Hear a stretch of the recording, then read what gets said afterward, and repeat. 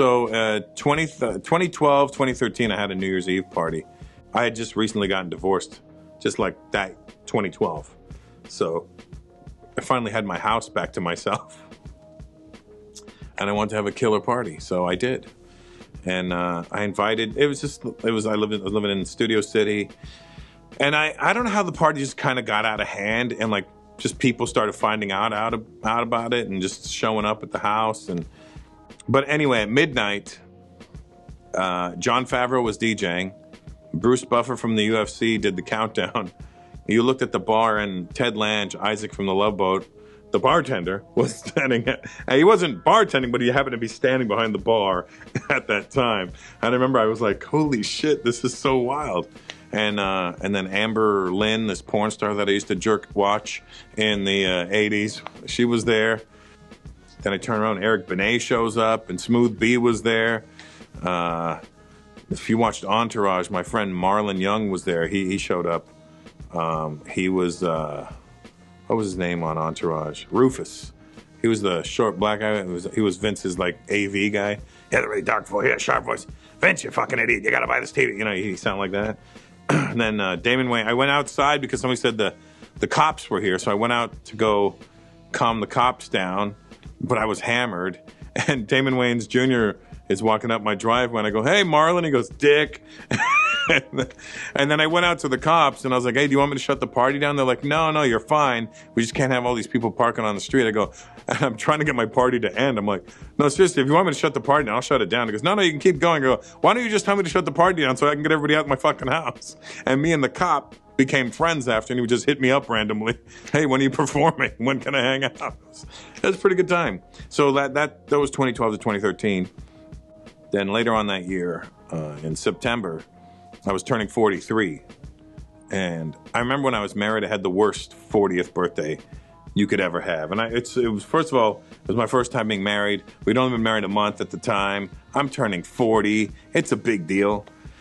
She a fucking cake. She didn't even say happy birthday to me. She was a real piece of shit that day, that woman.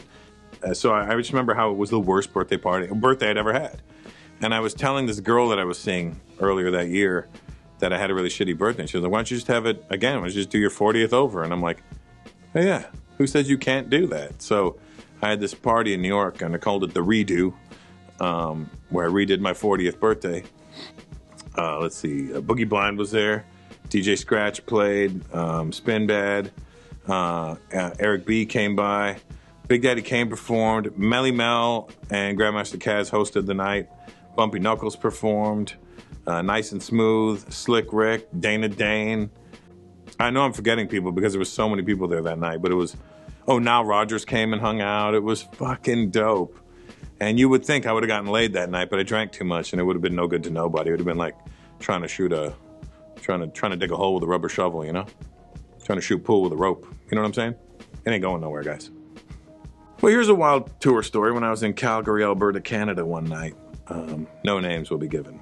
See, wild tour stories with a comic is not not that wild for us. You know what I mean? It's just it's just kind of whatever. We're it's such a different world than like a musician's life or a rapper's life or a DJ's life. It's just literally like you know, here's the difference between a, a, a musician and a comedian. When a musician's on stage, girls are like, fuck me, fuck me. And when a comedian's on stage, the girls are like, fuck you, fuck you. So it's it's very different. It's similar but different.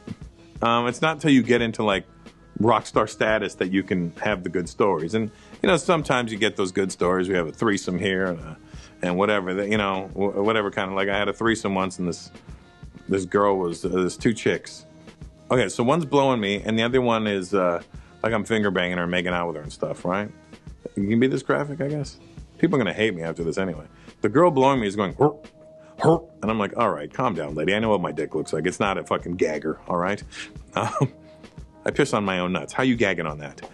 So she's like, hur, hur, and all of a sudden she goes, and then she just gets up and runs to the bathroom. And then the girl right here goes, you didn't come, did you? And I go, uh, no.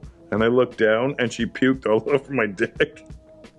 like I look down, there's literally cocktail onions, like right by my balls. And I'm like, oh, that's fucking nasty. So she ran into the shower, and then I jumped in the shower right behind her, and, sh- and I'm washing off. And I was mad, but my dick was still hard, so I just fucked her right in the ass in the shower. And I was, uh, that says more about her than it does me because it slid right in. And I'm like, wow, that's your ass. How's your asshole loose? How the fuck did that happen? What what church did you go to?